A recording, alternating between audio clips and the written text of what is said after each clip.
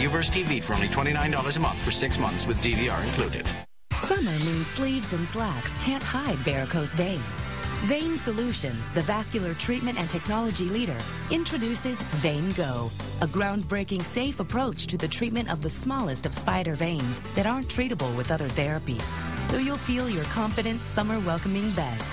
It's the only treatment of its kind in Central Texas. So schedule a screening today with our board certified cardiothoracic and vascular surgeons.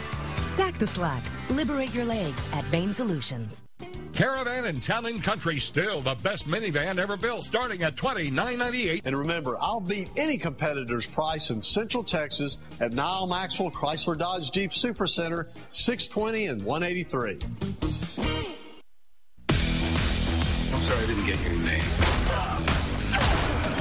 Nikita. Want to know more about Nikita? Go to CWTV.com. Well, a controversial pet shop in South Austin closed its doors for the last time today. Petland has been accused of selling pets from puppy and kitten mills. Protesters have picketed the store almost on a weekly basis since it opened two years ago.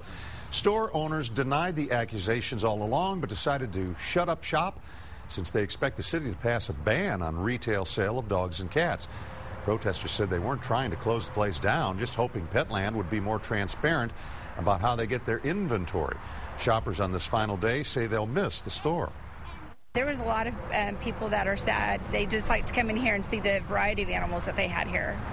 And um, you can tell the people who work here care about you. They remember us when we come back in, talk to the kids again. So, yeah, it's going to be missed.